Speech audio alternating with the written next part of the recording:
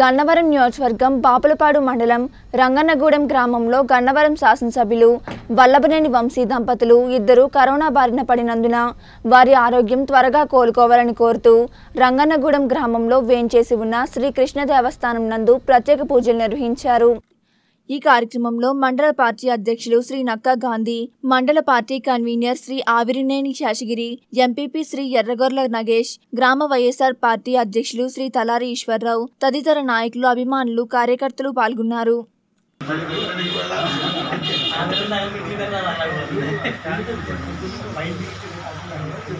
Voice లేకపోతే ఇంకా ఎట్లా ఈరోజు జనాలకు గుర్తింపు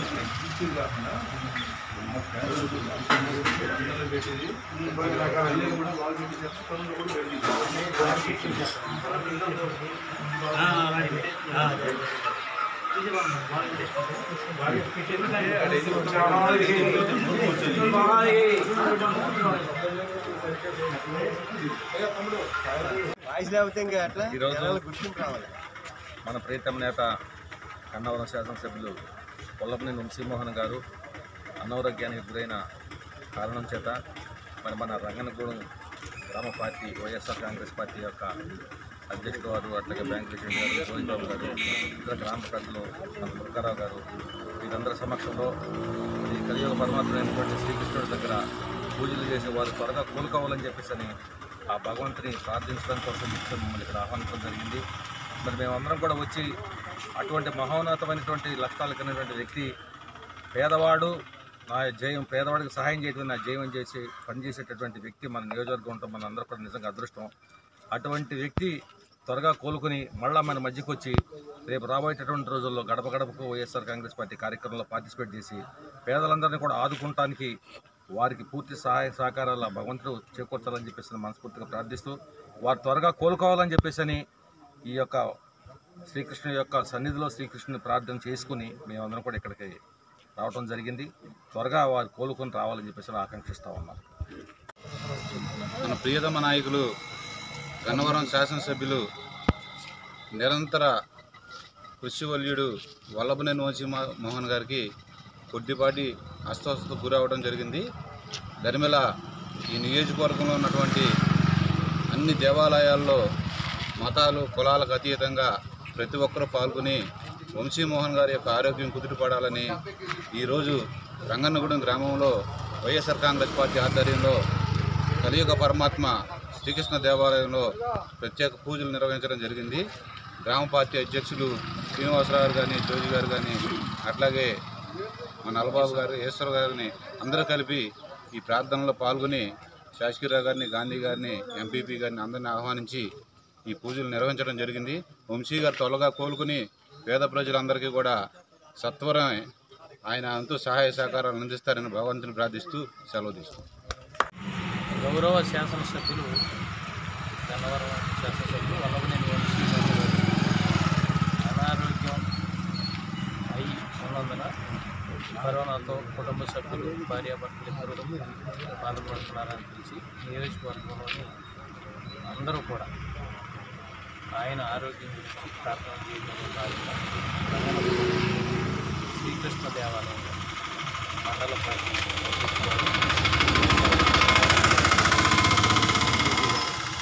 మా గ్రామస్తులు అలాగే జిల్లా కాంగ్రెస్ బోర్డు సభ్యులు అందరం కలిసి శాసనసభ్యుల వారి ఆరోగ్యం త్వరగా కోలుకొని అందరికీ మళ్ళీ ప్రజల్లోకి త్వరగా వచ్చి ప్రజాసేవ చేసి పది కాలాల పాటు ఇంకా ప్రజాసేవలో ఆయన ఉండాలని ఆరోగ్యంగా ఉండి చేసుకోవాలని మేము కోరుకుంటాం ఈ ప్రార్థన చేయడం జరిగింది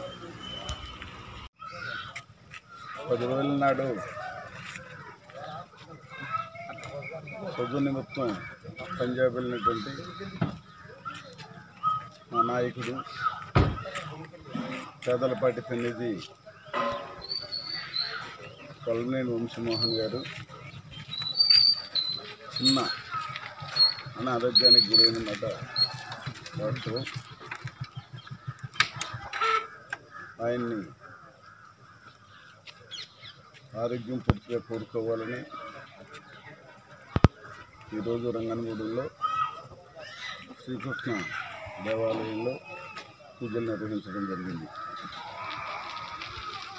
బలమైన వంశమోహన్ గారు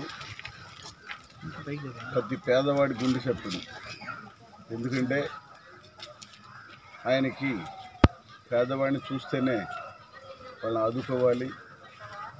ఏదో రకంగా వాళ్ళని వాళ్ళకి సాయం చేసి సొంత తన సొంత నిధుల నుంచి ఆదుకోవాలనే అనేటువంటి సంకల్పం నాయకుల్లో చాలా తక్కువ మంది పడుతుంది దాంట్లో ఈ రాష్ట్రంలో అలాంటివంటి ఉన్నతమైన ఆశయాలు ఉన్నటువంటి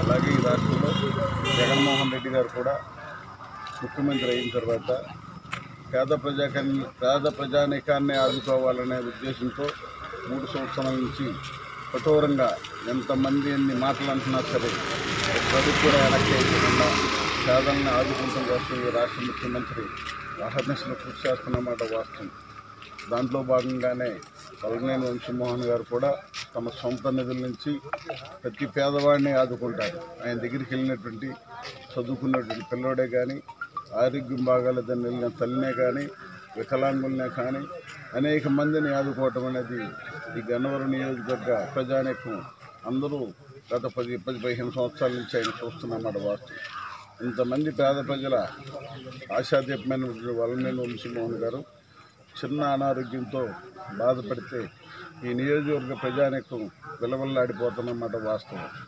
కాబట్టి ఆయన్ని ఆ భగవంతుడు పూర్తి ఆరోగ్యంతో కాపాడాలని మేము కోరుకుంటున్నాం. అలాగే ఇవాళ కరోనా మళ్ళీ రెండోది ఏంటంటే ఆయనకి ఆయన భార్యకి కరోనా వచ్చిందనని నిన్న మొన్న మేము మీడియా ద్వారా చూడటం జరిగింది. ఆయన అయితే మాకు ప్రస్తుతం విశ్రాంతిలో ఉంటున్నాం. మాకు అక్కడ ఇంటర్వ్యూ ఇచ్చే పరిస్థితి లేదు.